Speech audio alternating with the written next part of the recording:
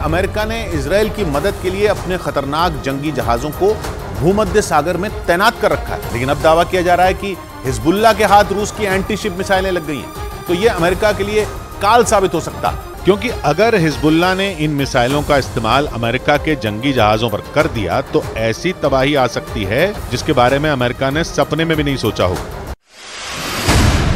लेकिन खतरा सिर्फ़ अमेरिका के जंगी जहाजों तक सीमित नहीं है। अमेरिका ने अपने सबसे खतरनाक जंगी जहाज़ सीवीएन 78 को भी इसराइल की मदद के लिए भूमध्य सागर में तैनात कर रखा है, जिस पर उसके 5000 से भी ज़्यादा सैनिक मौजूद हैं।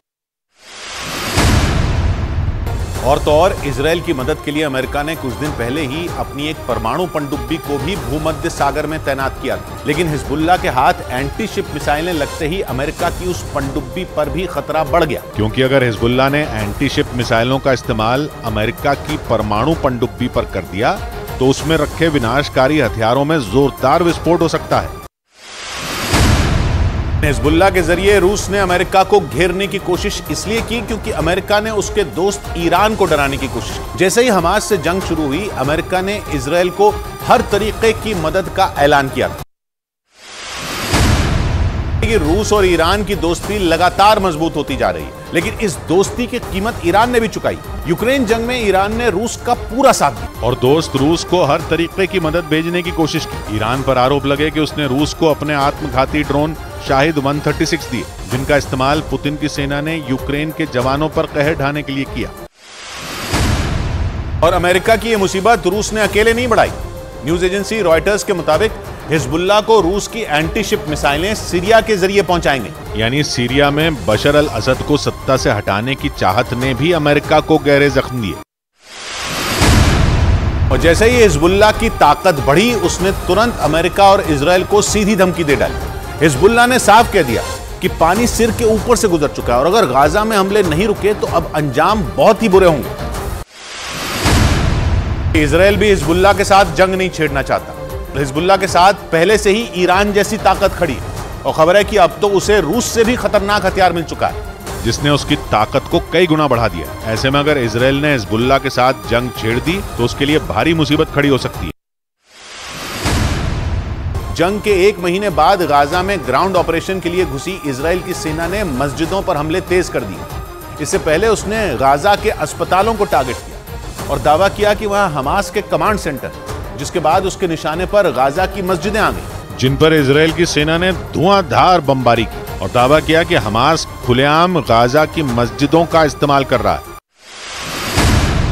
इसीलिए उसने 7 अक्टूबर को के बाद से हर उस जगह को टारगेट किया जहाँ हमास के लड़ाकों को पनाह मिल सकती थी, जिनमें गाजा की मस्जिदें भी शामिल हैं, जिन्हें खत्म करने के लिए इसराइल की सेना ने उत्तरी गाजा में ताबड़तोड़ कार्रवाई की। के बाद इसराइल ने गाजा की मस्जिदों पर नज़रें गड़ा दी और उन्हें टारगेट करना शुरू किया। सात अक्टूबर के बाद से इसराइल ने गाजा की 40 से ज़्यादा मस्जिदों को तबाह किया है और ये सभी मस्जिदें उत्तरी गाजा में ही थी, जिन्हें इसराइल की वायुसेना ने बमबारी में उड़ा डाला।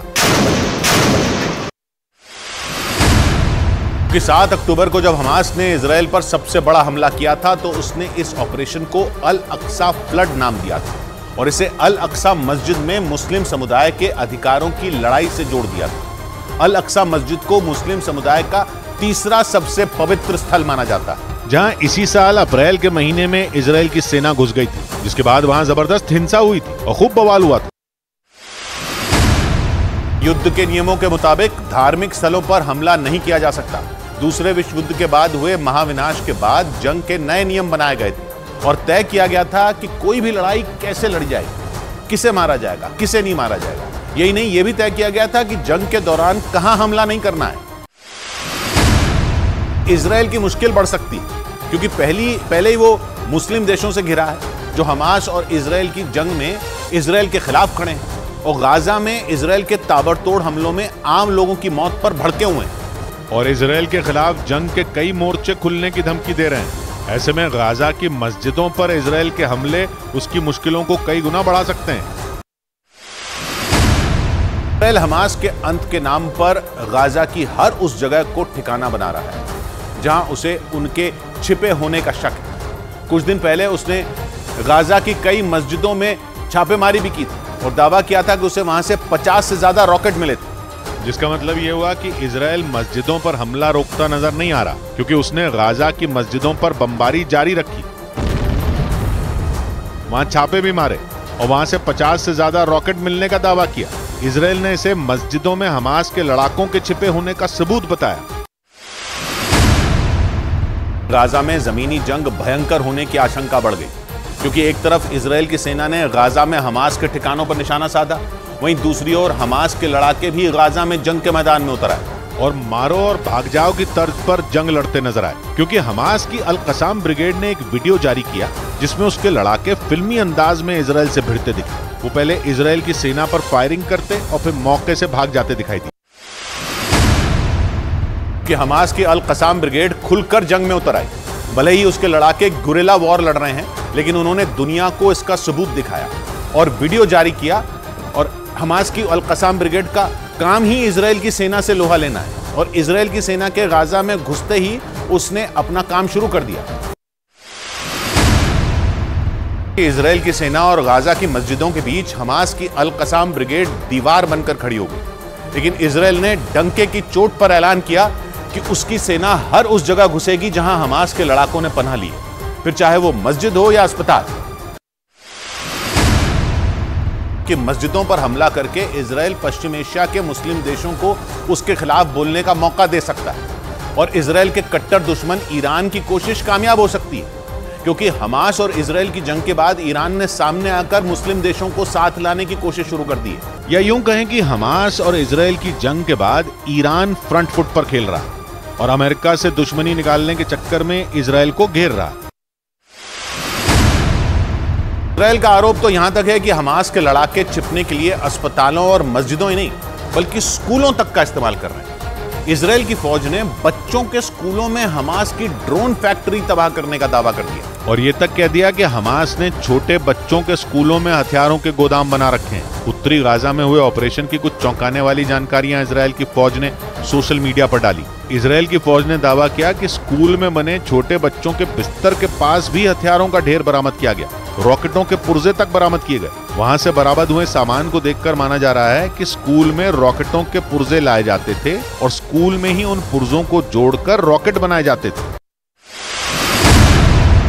इसराइल की फौज के निशाने पर गाजा पट्टी में चल रहे स्कूल भी आ गए।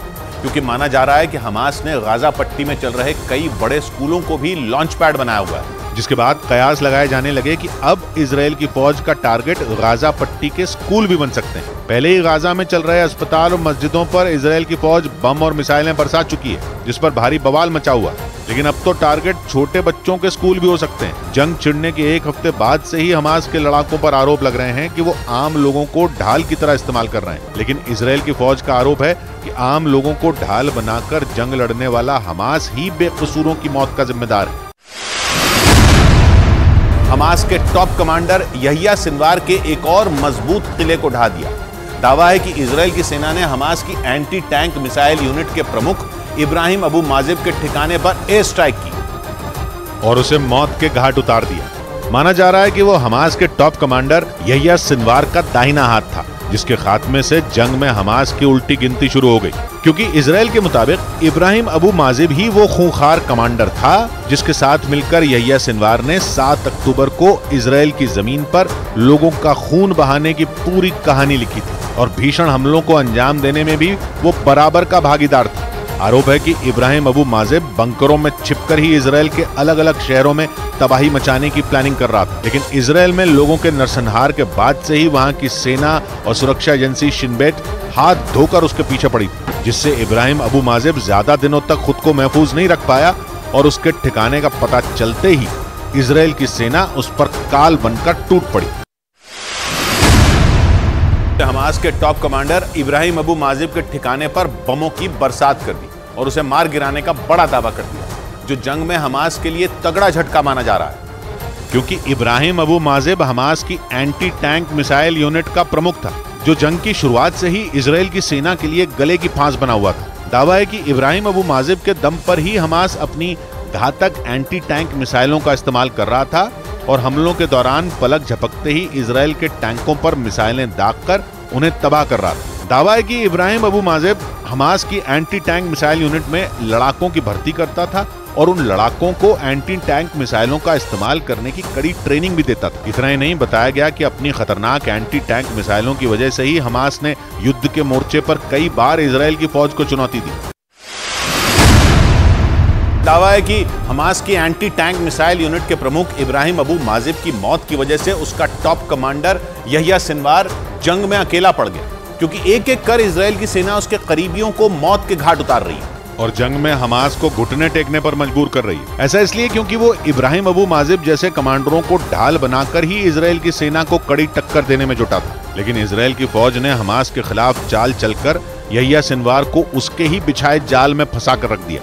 बताया गया कि वो इजरायली सैनिकों से छिपने के लिए बंकरों का सहारा लेकर टारगेट पर हमलों के लिए इब्राहिम अबू माजिब को कमांड दे रहा था। लेकिन उसकी ये तरकीब इसराइल की सेना के सामने ज़्यादा दिनों तक नहीं चल पाई और जंग शुरू होने के एक महीने बाद ही इसराइल को फिर से दहला देने का उसका प्लान धरा का धरा रह गया।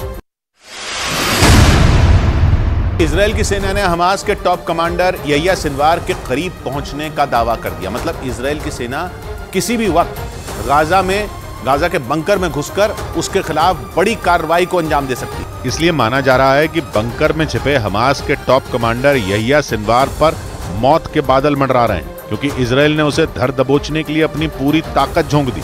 दावा है कि इसराइल की सेना उसके ठिकाने से कुछ ही कदम दूर है और उसने सिनवार के खिलाफ जाल बिछा दिया है।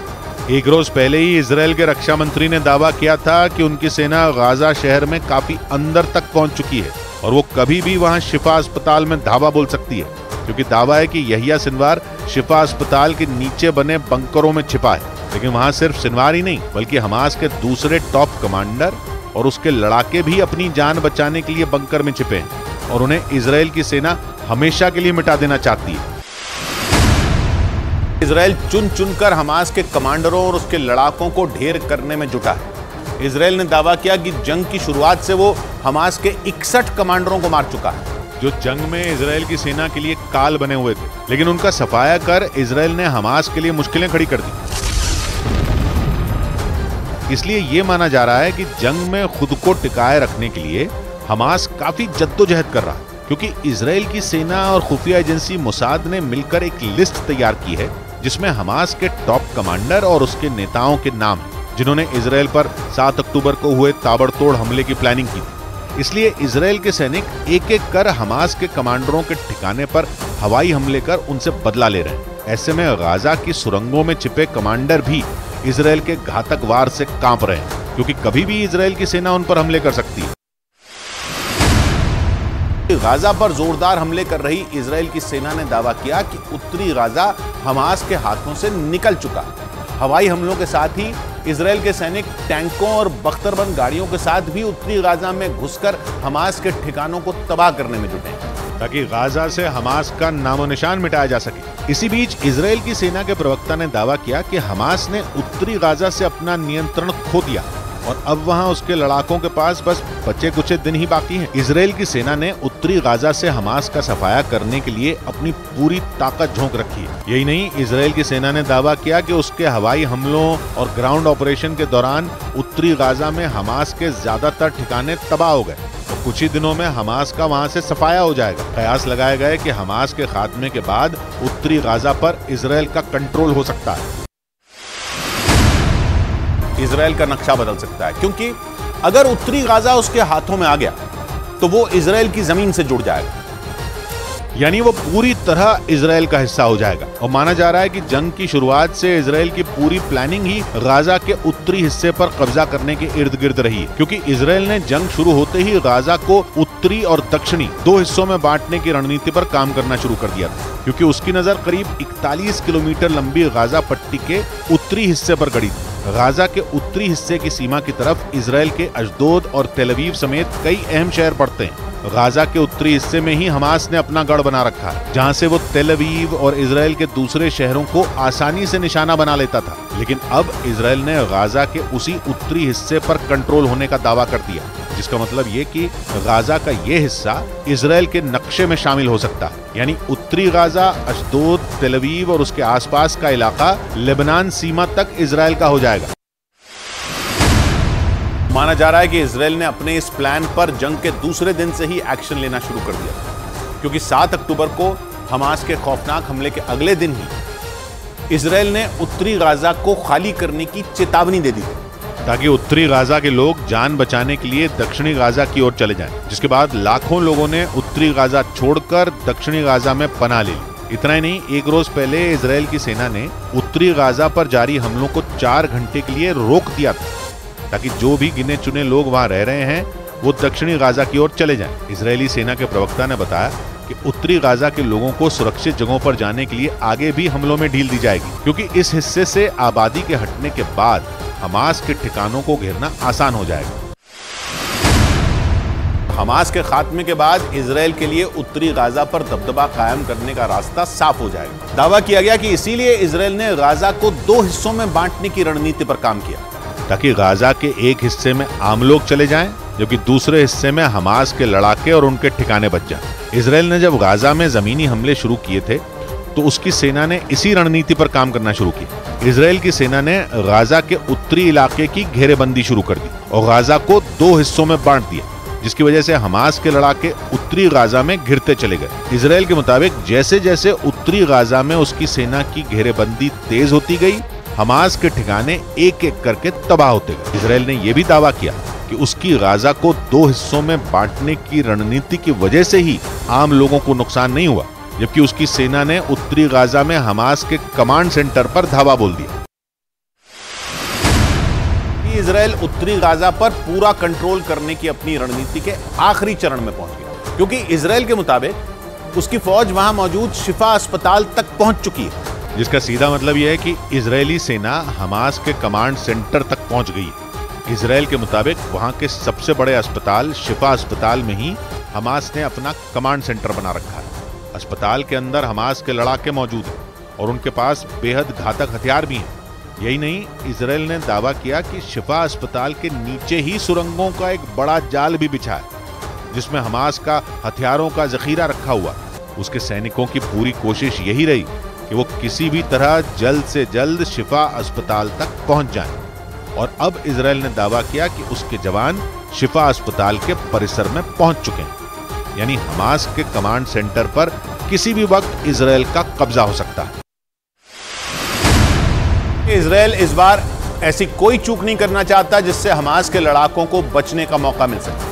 यही वजह है कि जंग रोकने के भारी दबाव के बावजूद इसराइल ने अमेरिका को भी यह कह दिया कि वो किसी भी कीमत पर सीज फायर नहीं करेगा। क्योंकि उसने हमास के ऊपर आखिरी वार की तैयारी कर ली। शिफा अस्पताल को घेरने का मतलब भी यही है कि इसराइल के सैनिक अब हमास के लड़ाकों का खात्मा करने तक रुकना नहीं चाहते, क्योंकि इसराइल कई बार इस बात का डर जता चुका है कि इस बार अगर उसने हमास की तरफ़ जरा भी नरमी बरती तो ये उसे भारी पड़ सकता है। अमेरिका ये कहता रह गया कि गाजा पर हमले रोक दो सीज फायर कर दो, लेकिन नितन्याहू ने साफ़ शब्दों में उसे भी बता दिया। कि हमास को मारे बिना जंग रुकने वाली नहीं है। और शिफा अस्पताल की घेरेबंदी में जुटी इसराइल की फौज भी इस बार हमास के लड़ाकों को कोई मौका देना नहीं चाहती। अमेरिका के हमले में ईरान के लड़ाकों का खून बहा है तो वो भी अमेरिका से एक कतरे का, एक एक कतरे का हिसाब लेगा। पश्चिम एशिया में पहले ही हालात विस्फोटक बने हुए हैं। सिर्फ़ एक चिंगारी पूरे इलाके में जंग की आग भड़का सकती है। और अमेरिका की एयर स्ट्राइक के बाद जो ताज़ा तस्वीर बनती नज़र आ रही है, उसे देखकर लग रहा है कि अब तक दूर दूर से लड़ रहे अमेरिका और ईरान खुलकर जंग के मैदान में उतर सकते हैं। और अगर ऐसा हुआ तो 35 साल बाद अमेरिका और ईरान दूसरी बार जंग लड़ सकते हैं। इससे पहले दोनों 80 के दशक में लड़े थे, मगर तब जंग ईरान और अमेरिका के बीच नहीं थी। युद्ध ईरान और इराक का था, जिसमें अमेरिका ने इराक का साथ देकर ईरान को हरा दिया था। मगर इस बार अमेरिका और ईरान सीधे सीधे एक दूसरे से दो दो हाथ कर सकते हैं, क्योंकि एक दिन पहले अमेरिका के दो एफ़ फिफ्टीन लड़ाकू विमानों ने सीरिया में ईरान के हथियार डिपो पर बमों की ऐसी बारिश की कि ईरान के हथियार बर्बाद हो गए। अमेरिका ने दावा किया कि पूर्वी सीरिया के देरजोर में मौजूद वो हथियार गोदाम ईरान की सेना की ब्रांच आईआरजीसी यानी इस्लामिक रेवोल्यूशनरी गार्ड कोर का था। और वहाँ रखे गए हथियारों से ही इराक और सीरिया में अमेरिका की सेना पर बीते तीन हफ्तों से हमले किए जा रहे हैं। इसलिए अमेरिका ने ईरान के हथियारों को ही सुहा कर दिया। सीरिया में ईरान के अड्डे पर हमला करके अमेरिका ने दो टूक कह दिया कि अगर उसके सैनिकों पर आँच आई तो वो तमाशा नहीं देखेगा। लेकिन इसके साथ ही अमेरिका ने यह भी साफ़ किया कि वो पश्चिम एशिया में लड़ाई बढ़ाना भी नहीं चाहता। इसलिए अमेरिका की सेना ने सीरिया में ईरान के हथियारों के गोदाम पर रात को उस वक्त हमला किया जब वहाँ ईरान के इक्का दुक्का लड़ाके ही रह गए। अमेरिका ईरान के इशारे पर उसके लड़ाकों के अपने अड्डों को निशाना बनाने का आरोप लगा रहा है। और जवाब में ईरान के ठिकानों पर अटैक कर रहा है। यहाँ तक कि अमेरिका पूरे के पूरे पश्चिम एशिया में अपनी सेना की किलेबंदी कर चुका है और पश्चिम एशिया में अपने सैनिकों की संख्या बढ़ाने से लेकर अमेरिका वहाँ अपने जंगी जहाजों से लेकर एफ़ फिफ्टीन और एफ़ सिक्सटीन जैसे एक से बढ़कर एक लड़ाकू विमान तक उतार चुका है और थार्ड और पेट्रियट जैसे एयर डिफेंस सिस्टम भी तैनात कर चुका है। अमेरिका ने सीरिया में ईरान के जिस हथियार गोदाम पर हमला किया दावा किया जा रहा है कि उसमें ईरान के नौ लड़ाके मारे गए। ऐसे में ईरान चुप तो नहीं बैठने वाला। वो अपने लड़ाकों की मौत का बदला लेने के लिए कुछ बड़ा करने की प्लानिंग में नज़र आ रहा है। क्योंकि खबर है कि अमेरिका ने रात को सीरिया में ईरान की सेना की ब्रांच आईआरजीसी के हथियार डिपो पर हमला किया और कुछ घंटे बाद सुबह सुबह ही ईरान का इल्यूशन आयल 76 जहाज़ सीरिया में लैंड कर गया। सीरिया में हथियारों से भरा अपना विमान भिजवाया तो उसके दुश्मन और अमेरिका के दोस्त इसराइल ने भी सीरिया पर एयर स्ट्राइक कर दी, जिसमें ईरान के समर्थन वाले तीन लड़ाकों के मारे जाने का दावा किया गया। सीरिया के सरकारी मीडिया ने दावा किया कि इसराइल ने रात को दक्षिणी सीरिया में सैन्य ठिकानों पर हवाई हमले किए। वहीं सीरिया की जंग पर नज़र रखने वाले एक संगठन ने दावा किया कि इसराइल ने सीरिया की राजधानी दमिश्क के पास मौजूद हिजबुल्ला के ठिकानों पर अटैक किया। इसके पीछे ईरान का हाथ है। क्योंकि आरोप है कि ईरान ही हूथी लड़ाकों को भड़काता है और उन्हें हथियार और पैसे देता है। और ईरान के इशारे पर ही हूथी विद्रोहियों ने अमेरिकी ड्रोन को मार गिराने की हिम्मत दिखाई। वो इसका बदला इसराइल के साथ ही अमेरिका से भी लेना चाहते हैं। हालाँकि ईरान और अमेरिका के बीच लंबे वक्त से तनातनी है। लेकिन इस दुश्मनी की आग तब और भड़क गई जब इसराइल की मदद करने के लिए अमेरिका खुलकर सामने आ गया। जिस पर इसराइल का सबसे बड़ा दुश्मन ईरान आग बबूला हो गया। और इसीलिए दावा किया जा रहा है कि उसने हमास के बाद हूथी विद्रोहियों को भी जंग में उतार दिया।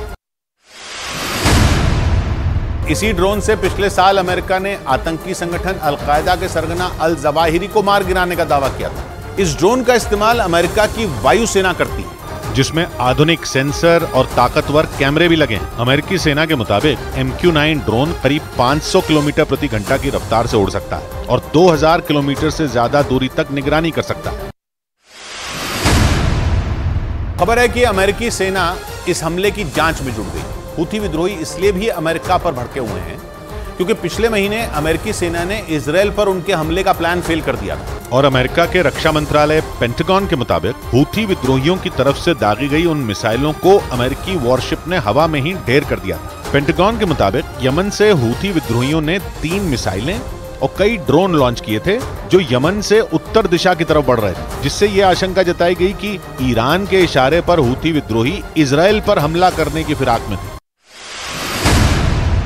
जिसके बाद न सिर्फ़ हूथी लड़ाके, बल्कि उनके साथ खड़ा ईरान भी अमेरिका से बदला लेना चाहता है। हालाँकि इस युद्ध की शुरुआत के बाद अरब देशों ने एकजुटता दिखाते हुए एक सुर में इसराइल का विरोध करना शुरू कर दिया।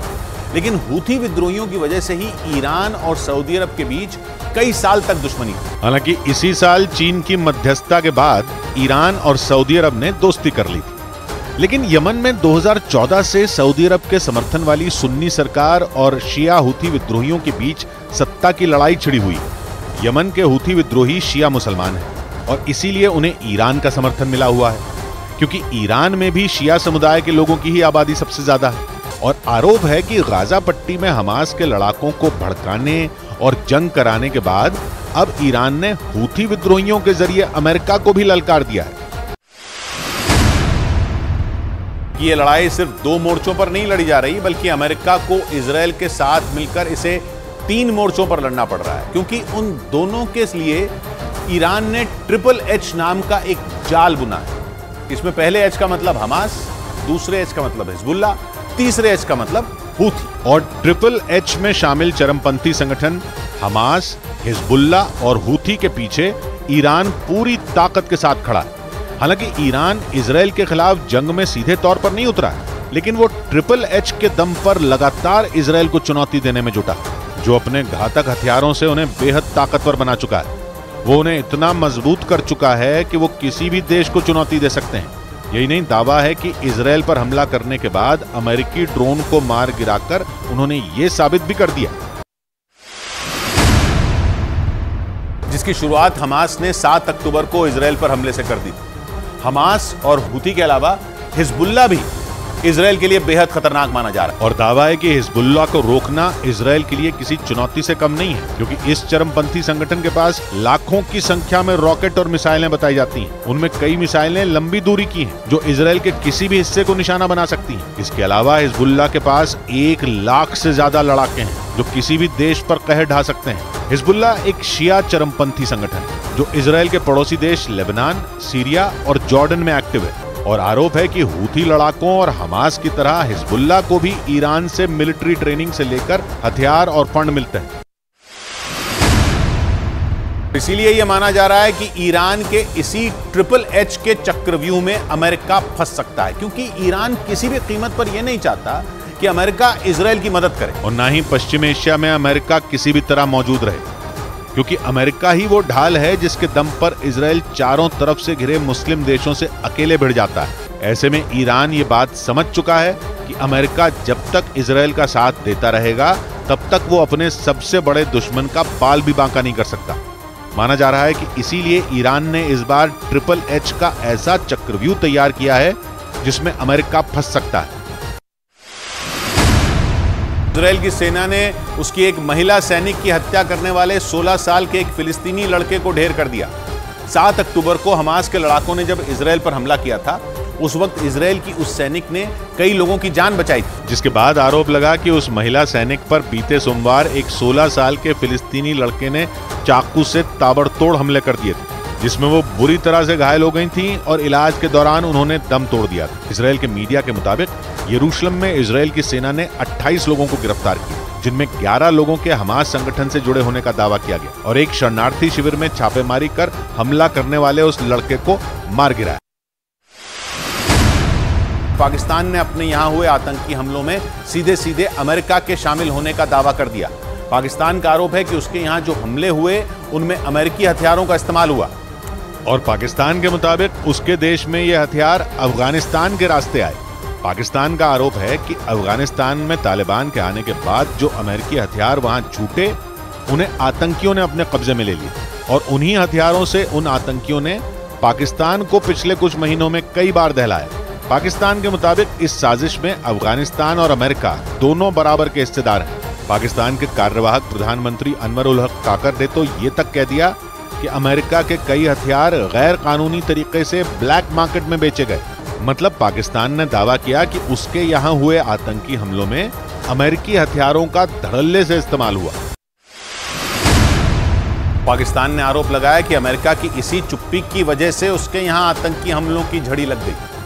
पाकिस्तान के कार्यवाहक प्रधानमंत्री अनवर उल काकर ने आरोप लगाया कि अमेरिका के हथियार अफ़गानिस्तान के ज़रिए पाकिस्तान तक पहुँचे। और फिर आतंकियों के हाथों में पहुँचे उन्हीं अमेरिकी हथियारों ने पाकिस्तान में तबाही की कहानी लिख डाली। अनवर उल काकर ने तो ये दावा भी किया कि रविवार को पाकिस्तान के मियावाली एयरबेस में हुए आतंकी हमले में भी अमेरिकी हथियारों का इस्तेमाल हुआ। पाकिस्तान की सेना के मुताबिक उसके मियावाली एयरबेस में छह आतंकियों की एक टुकड़ी ने ज़बरदस्त फायरिंग और बमबाजी की थी। जिसमें उसका एक फाइटर जेट तबाह हो गया था। और उस हमले की जाँच रिपोर्ट के आधार पर पाकिस्तानी प्रधानमंत्री ने यह आरोप लगाया कि इस हमले में अमेरिकी हथियारों का इस्तेमाल हुआ था। लेकिन पाकिस्तान के अमेरिका पर हमलावर होते ही इस बात की चर्चा भी तेज हो गई कि ये चीन की चाल हो सकती है। मतलब चीन ने अमेरिका को घेरने के लिए पाकिस्तान को उकसाया। जिसके बाद पाकिस्तान ने अमेरिका के खिलाफ मोर्चा खोल दिया। क्योंकि चीन की अमेरिका से जितनी कट्टर दुश्मनी है, वो उतनी गहरी दोस्ती पाकिस्तान के साथ होने का दावा करता। है इसलिए ये आशंका जताई जाने लगी कि अमेरिका पर हथियार सप्लाई कराने का आरोप लगाने के लिए पाकिस्तान को चीन ने ही उकसाया होगा। क्योंकि चीन हर मुद्दे पर अमेरिका के खिलाफ खड़ा नज़र आता है। वहीं दूसरी तरफ़ वो पाकिस्तान को संकट से उबारने के लिए वहाँ इतना निवेश कर चुका है कि पाकिस्तान चाह कर भी उसके खिलाफ नहीं जा सकता और वो राशन पानी लेकर अमेरिका पर चढ़ गया और सीना ठोक के ये कहने लगा कि उसके यहाँ हुए आतंकी हमलों में अमेरिकी हथियारों का ही इस्तेमाल हुआ। माना जा रहा है कि उसे यह बोलने की हिम्मत चीन ने दी, क्योंकि सारी दुनिया ये जानती है कि पाकिस्तान की हर हरकत के पीछे चीन का हाथ होता है। और पाकिस्तान यह अच्छी तरह से जानता है कि अगर वो अमेरिका पर हमलावर रहा तो चीन से उसकी दोस्ती और पक्की हो जाएगी। जो उसे अपने लिए फ़ायदे का सौदा नज़र आता है। चीन पाकिस्तान को संकट से उबारने के लिए उसे अरबों डॉलर का कर्ज दे चुका है। इसके अलावा उसके कई बड़े बड़े प्रोजेक्ट भी पाकिस्तान में जारी हैं। और पाकिस्तान को यह उम्मीद है कि चीन की इस मदद से उसे दोबारा अपने पैरों पर खड़े होने में मदद मिलेगी। यहाँ तक कि वो चीन के दुश्मनों को अपना दुश्मन और उसके दोस्तों को ही अपना दोस्त तक मानता है। और आशंका जताई गई कि इसी वजह से उसने अमेरिका से टक्कर लेने का ऐलान कर दिया, क्योंकि उसे यह भरोसा है कि अगर अमेरिका ने कोई एक्शन लिया तो चीन उसकी मदद के लिए फ़ौरन चला आएगा।